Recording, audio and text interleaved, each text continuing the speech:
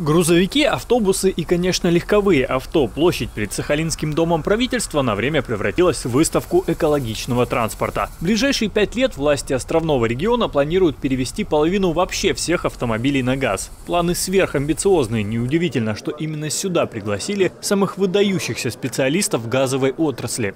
Это и производители оборудования, и строители заправочных станций, и производители транспортных средств, и те, кто занимается переводом существующих транспортных средств на природный газ, и финансовые организации, которые предлагают там специальные инструменты для э, развития рынка и так далее. То есть ну, максимально-максимально широкий научно-исследовательские институты, университеты и так далее. В первую очередь стоит перенимать местный опыт по введению мер поддержки. На конференции рассказывают, что тем, кто установил баллон в свой автомобиль, во-первых, компенсируют затраты на переоборудование, во-вторых, в два раза снижают транспортный налог.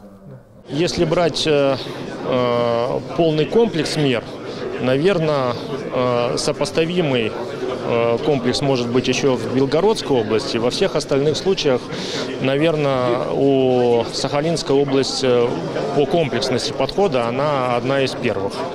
Такие затраты в итоге окупаются и приносят выгоду. Это не только польза для экологии, но и, например, развитие бизнеса. Те же таксопарки выигрывают очень неплохо. Самый крупный агрегатор такси в стране делится своими расчетами метан по нашим там, расходам, по, нашим, э, по нашему анализу где-то в два с половиной раза выгоднее получается.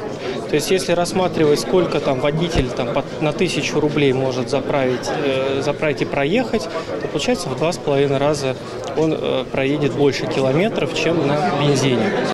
Помимо обсуждения финансовых инструментов, на конференции говорят и о развитии инфраструктуры, климатических нюансах и представляют примеры успешного внедрения газомоторного оборудования. Регионы готовы реализовывать их у себя. А у нас самая высокая стоимость э, как дизельного, так и бензинового топлива на, в республике Саха-Якутия по Дальневосточному федеральному округу.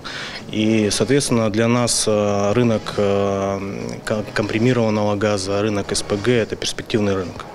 И мы все-таки видим а, для себя а, развитие этого рынка а, как на федеральных трассах, как на региональных дорогах.